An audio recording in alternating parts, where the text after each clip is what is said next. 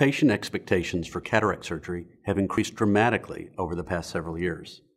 Those who choose a premium IOL tend to have especially high vision expectations, and the array of advanced technology lenses available today gives us, in many cases, a variety of ways to deliver on patients' desired refractive outcomes. Beyond lens selection and surgical planning, there are many intraoperative steps we can take to help maximize surgical success with premium lenses. This case will illustrate how careful attention to surgical technique and postoperative management, including drug selection, can help us deliver excellent outcomes with advanced technology IOLs. A 49 year old patient presented to our clinic seeking cataract surgery. She had undergone RK many years previously and was left with some residual corneal astigmatism. She now had 20/60 best corrected vision with 2 plus nuclear sclerosis and 2 plus posterior subcapsular cataract. Her corneal astigmatism measured approximately 1.5 diopters. This relatively young patient was highly motivated to reduce her reliance on spectacles. So, in order to correct her pre existing astigmatism and give her the opportunity to achieve excellent vision at a range of distances, I recommended the Trulign Toric IOL. The Trulign Toric IOL is a silicone lens with a 5mm optic, two flexible rectangular hinge haptics, and four polyimide loops. It is a toric modification of the Crystalens AO with the addition of a toric optic on the posterior surface and two alignment marks on the anterior surface. The Trulign IOL offers patients a greater range of vision from distance to near and can correct up to 2.5 diopters of corneal astigmatism. The lens is a good option for this patient since its aspheric optics are associated with a low risk of unwanted glare, halo, or reduced contrast sensitivity. Based on preoperative measurements and calculations, we plan to implant a 20 diopter Trulign lens, calculated using the Holladay 2 formula, with a plus 2 diopter cylinder power for this post RK patient. I first marked the surface of the eye for the steep axis with the Whitman toric axis marker made by Storz. The long radial marks in the mid-peripheral cornea help ensure proper lens placement orientation for precise astigmatism correction. I used the Victus femtosecond laser to make the 5.6 millimeter capsulotomy, and you can see how easy this free cap is to remove. A symmetrical and well-centered capsulorhexis is extremely important for precise positioning of toric IOLs. In my experience with the Trulign IOL, sizing the capsulotomy between 5.5 to 6 millimeters produces the most stable refractive results. I then used the Stellaris phacoemulsification unit to remove the cataract through a 1.8 millimeter MICS incision. Many surgeons have now moved towards MICS, and I believe the approach will continue to gain popularity because the smaller surgical wounds result in less surgically induced astigmatism and fewer complications.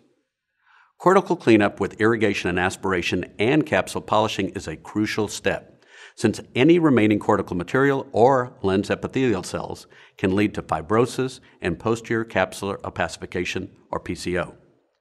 Meticulous cortical cleanup is crucial to reduce the likelihood of PCO and peripheral fibrosis, which helps ensure the successful performance of premium lenses. After filling the capsular bag with a viscoelastic again, I am now using the Whitman Shepherd capsule polisher to get the underside of the anterior capsule leaflet as clean as possible. I believe this is a very important step to avoid capsule contraction and maintain good positioning and movement of the lens over time. You can see as I do this, first 180 degrees in one direction and 180 degrees in the other direction, I always get some of the extra cellular debris off. Here, I have widened the incision to about 2.6 to 2.8 millimeters and injected the lens using the Crystalsert injector. This can be done in one single motion.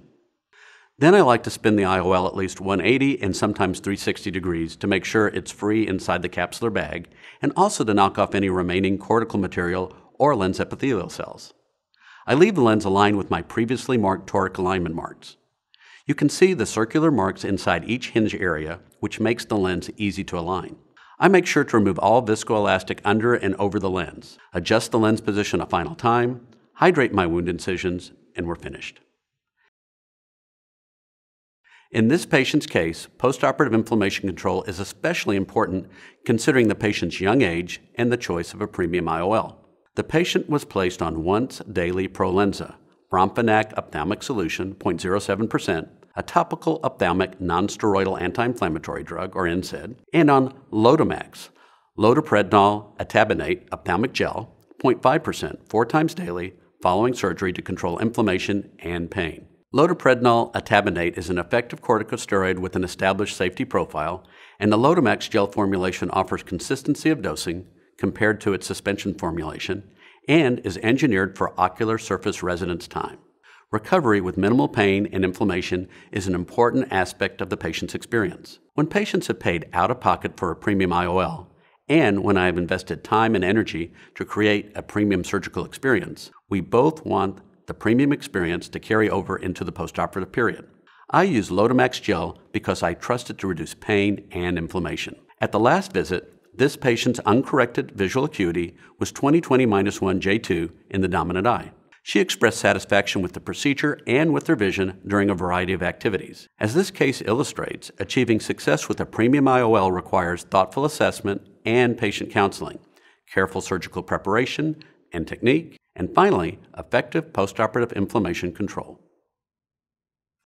Indication Lotemax gel is a corticosteroid indicated for the treatment of postoperative inflammation and pain following ocular surgery. Important risk information about Lotemax gel. Lotemax gel is contraindicated in most viral diseases of the cornea and conjunctiva, including epithelial herpes simplex keratitis, dendritic keratitis, vaccinia, and varicella, and also in mycobacterial infection of the eye and fungal diseases of ocular structures intraocular pressure, IOP, increase. Prolonged use of corticosteroids may result in glaucoma, with damage to the optic nerve, defects in visual acuity, and fields of vision. If this product is used for 10 days or longer, IOP should be monitored. Cataracts. Use of corticosteroids may result in posterior subcapsular cataract formation. Delayed healing. Use of steroids after cataract surgery may delay healing and increase the incidence of bleb formation and occurrence of perforations in those with diseases causing corneal and scleral thinning. The initial prescription and renewal of the medication order should be made by a physician only after examination of the patient with the aid of magnification. Bacterial infections. Prolonged use of corticosteroids may suppress the host response and thus increase the hazard of secondary ocular infection. In acute purulent conditions, steroids may mask infection or enhance existing infections. Viral infections. Use of corticosteroid medication in the treatment of patients with a history of herpes simplex requires great caution. Use of ocular steroids may prolong the course and exacerbate the severity of many viral infections of the eye, including herpes simplex. Fungal infections. Fungal infections of the cornea are particularly prone to develop coincidentally with long term local steroid application. Fungus invasion may be considered in any persistent corneal ulceration where a steroid has been used or is used. Contact lens wear. Patients should not wear contact lenses when using Lotemax gel. The most common ocular adverse drug reactions were anterior chamber inflammation, 5%, eye pain, 2%, and foreign body sensation, 2%.